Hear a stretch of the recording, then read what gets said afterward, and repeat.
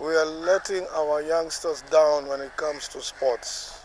We need to do a lot. Ababu Namwamba, let's hope you're not just there as a as, as a figurehead. You know, you need to take up leadership. You've got to lead from the front, Mr. Namwamba, because it can't go on like this. Here in Kenya, I believe there's so many talented uh, youngsters, both boys and girls. And I've always said, I don't think it's only me who could have played good cricket. There are others. They're just waiting to be discovered.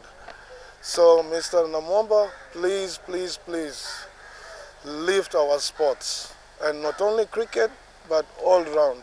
Because there is a lot of talent out there. I don't believe it's only Wanyama who could have played in the Premier League. I don't believe that. I'm sure there are many others who could easily play out there. But they're not, be, they're not being discovered.